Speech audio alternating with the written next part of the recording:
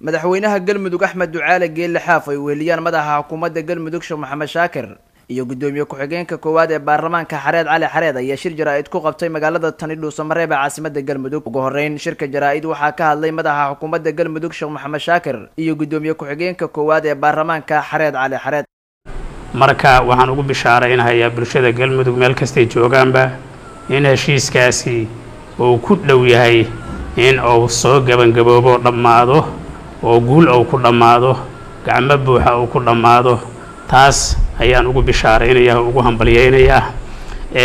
Waxaa garbaha naga taagnaa saxiixa waxaa saxiixay madaxweyne axmed ducaali xaaf iyo anigaa saxiixnay oo ka bacdi markii mada muqdisho aan ku saxiixnay hogaaminaynay heshiiska.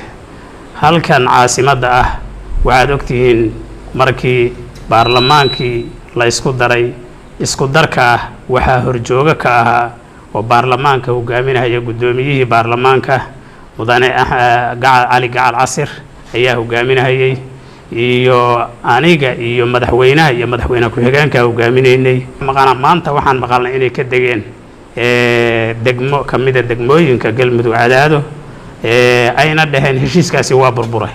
Sidaas camal waxu dhigma. Marka waxaan u bishaaraynaynaa oon ka kabaynaa ummadda galmudug.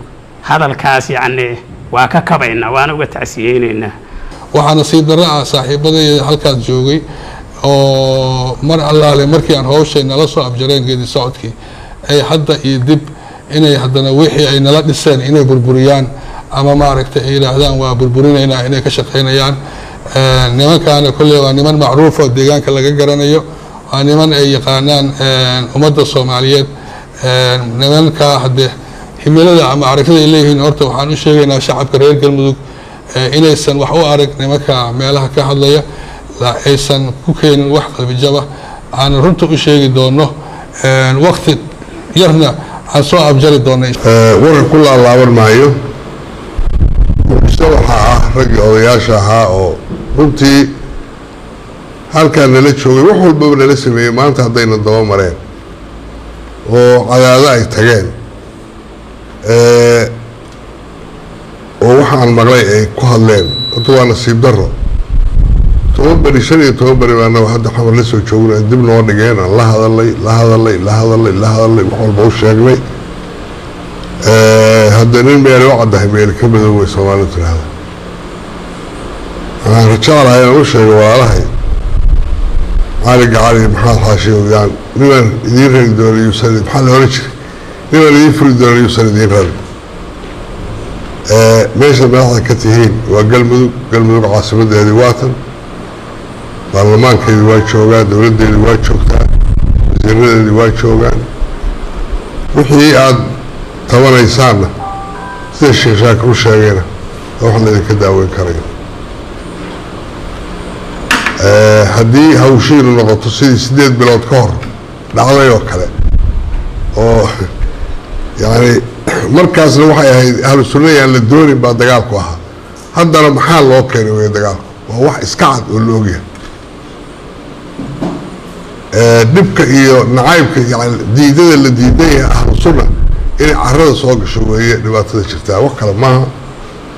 Taasna waa ka gaashaaman doonaa sidoo kale waxaa hadlay madaxweynaha galmudug axmed ducaale geelle xaaf isagoo baaq u diray dowladda federaalka soomaaliya. Ay in aysan faragelin ku samaynin halka kan galmudug. Galmudug waa xor baarlamaan bay leedahay wasiiray leedahay kabineed bay leedahay wax walbayna waxooda go'aanada iyadaa gaaraysa. Ciddii iyadu shaksiyaada oo bannaanka istaagaysan iyada u taal. Anagu cidda fogeyn mayno waa soo dhaweyneynaa kuwa hadda naga tagay hadlahay waa soo dhaweyneynaa kuwa kaloo imaanayna waa soo dhaweyneynaa laakiin waxaan codsanaynaa dowladda federaalka sidii sideed bilood ka hor ay si qay si qayaxan ay noo soo faragelisay. Inaysan mar labaad noo soo faragelin baan uga digaynaa.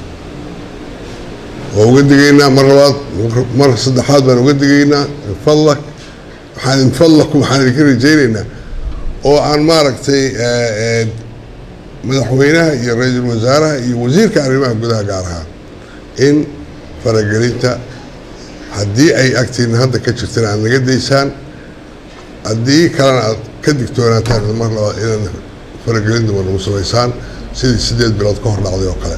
Aada iyo aad baad mahadsantihiin. Cabdikariin xaashi cabdi somaali cable t v dhuusamareeb